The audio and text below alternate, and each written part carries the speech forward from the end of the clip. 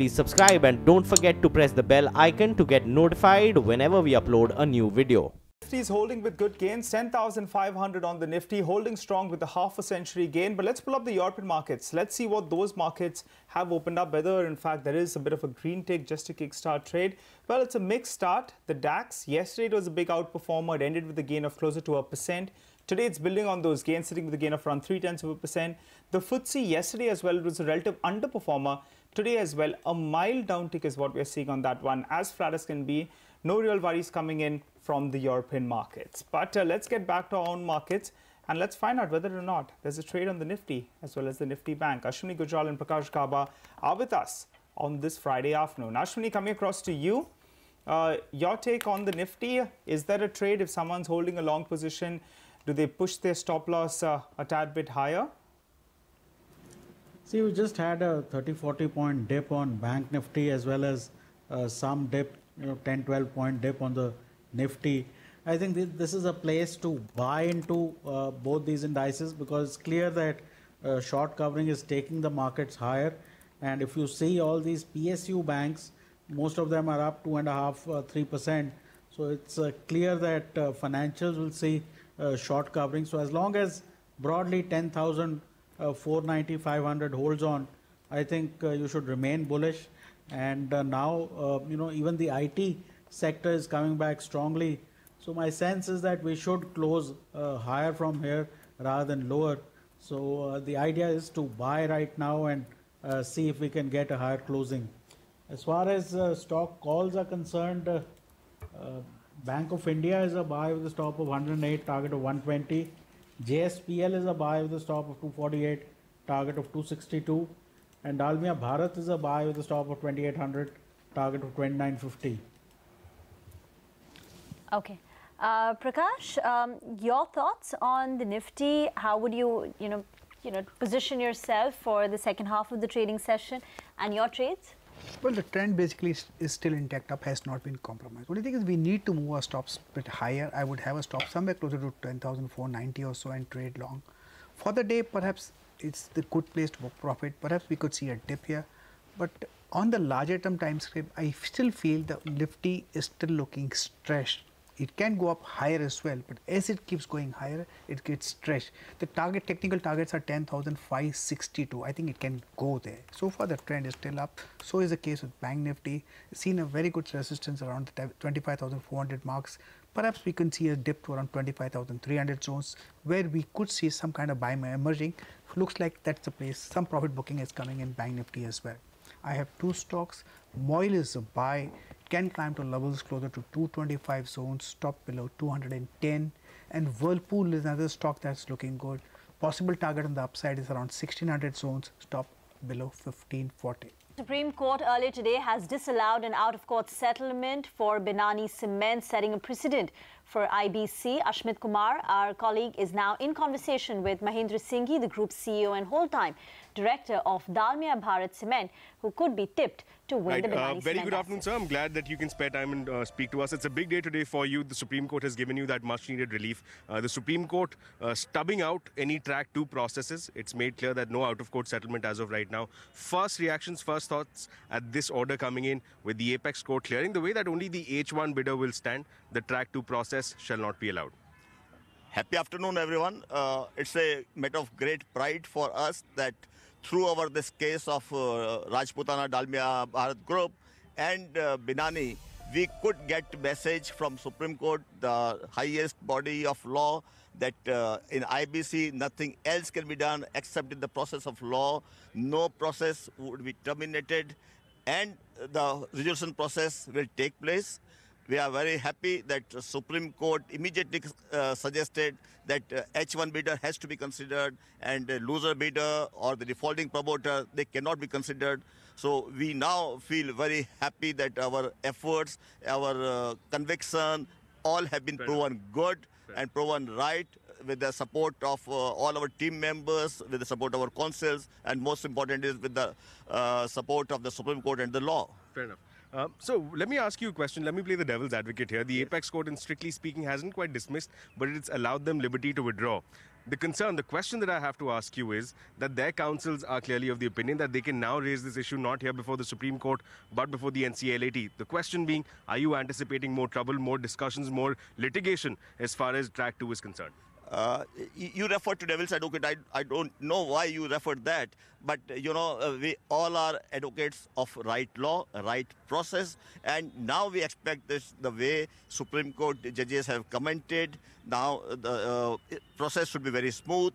Now whether it's the Binani Industries or any other bidder, they would not interfere because they would also like to respect the law. They would also like that yes, the asset which is under stress should be resolved.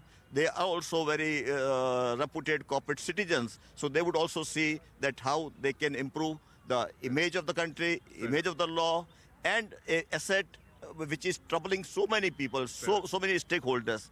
And once a corporate uh, uh, personality uh, in the way, way of Dalmia Bharat Group has come forward, so how to give them the message that now this is, asset would be resolved and it will also create confidence in various investors that the NPAs, which are to the tune of maybe more than 4 5 lakh crores, they will also get faster resolution. Fair enough. So one final question here. This one, as far as the road forward is concerned, the operational creditors are not very happy with your offer. Uh, can we anticipate? Are, are, we completely ruling out perhaps? Uh, greater discussions with the COC where perhaps the offer in uh, in a manner of speaking can be sweetened uh, to accommodate the interests. Is that something that's on the table or can be ruled out?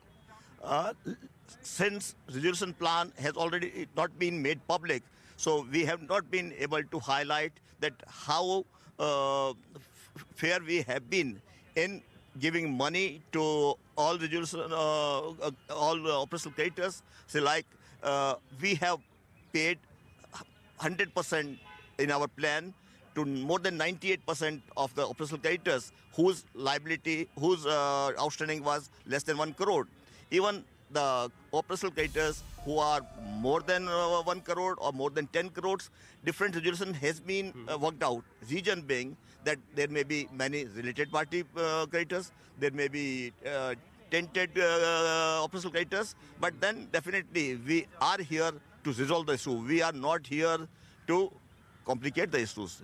Uh, I think uh, whole media must have seen also the way we have been advocating hmm. about the law, about IBC, about our honest intentions. Fair enough, sir. We really wish you the best of luck, and it's Thank been you. great speaking to you. Thank you so much, sir. All right, Mr. Singhi, they're sounding confident. He's expecting the IBC process to be smooth from year on. He's saying that, in fact, if it went against them, then, in fact, you know, there would be no faith really in the IBC. Rima, I just uh, want to share, you know, I've been tracking this cement sector yeah. for the last uh, half a decade, a little more than that. Mr. Singhi is a very important part of this bid. Why? Because he was the one who grew Shree Cement's capacity uh, when they were, uh, you know, when they were hiking their capacity, particularly in Rajasthan. So the street and the, all the sell side analysts in terms of cement, they look at him as the master of the Rajasthan market. Mm. So he's going to be very, very important in, in uh, you know, ramping up this Binani cement plant, in seeing how exactly they can get a foothold over there, how can they can ramp it up, the EBITDA numbers, the pricing, everything. He's known as the master there. So we'll have to wait by. But more importantly, now the street is start focusing on how much is Dalmia Bharat bid? What's the bid? Is it 6,500, 6,700? What is their percentage in that consortium? That's mm. going to be important as well going ahead. And what does it take this, their debt to? Because some part of the street they believe that maybe in fact Dalmia Bharat have been too aggressive. They've grown, you know, well till now. But that's why, in fact, intraday, you know, you see the stock has come up the high point of the day. So a lot of questions still un unanswered. For the time being, what we know is that Dalmia Bharat, yes, Binani Cement is going to be their baby.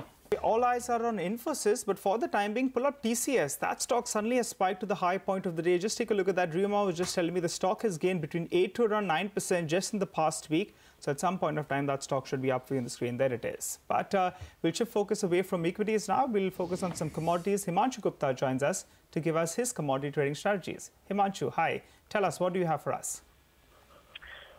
Hi, good morning. Morning. Uh, well, we believe gold prices are looking strong. Uh, we have seen some profit booking in yesterday's trade, but all in all, the geopolitical worries, these global trade war worries are supportive for gold, and we believe that the prices are, would be trading firm in the immediate short term. Uh, so from a trading perspective, we believe 30,850 on the June month contract at MCX is a level to go fresh long, and for the targets of 31,200, and a stop loss below 30,750 would be recommended in gold. Uh, the second strategy would be on the crude oil. Uh, well, the Middle East tensions are supporting uh, crude oil prices. At the same time, there is a strong demand, and global inventories are seen coming down. So all these factors, all these factors are actually supporting gold uh, crude prices in the immediate short term. Uh, we believe in the international markets, uh, WTI uh, remains broadly supported, and 64, 64 and a half uh, would be a level where again fresh longs, fresh buying can be seen. so from a trading perspective, on the MCX in the April month contract, uh, one can go long around 43.20 for the targets of 4400, and a stop loss below 42.80 would be recommended. Okay, and zinc? Uh, well, zinc is a counter that is witnessing some selling pressure. We have seen nearly 4% decline coming in yesterday. Today also we believe there can be some short-term pressure seen in the metal. So from a trading perspective for the day, we believe one can go short around 204.50 uh, for the targets of 200 to 198 in the intraday and the stop loss above 206.50 would be recommended. Uh, but from a positional perspective, we believe these are the uh, good levels and we can see some lower, uh, some buying coming in from lower levels. So these selling recommendation is just from an intraday perspective. Well, by, from a uh, medium to short term perspective, one can go long and start accumulating at lower levels.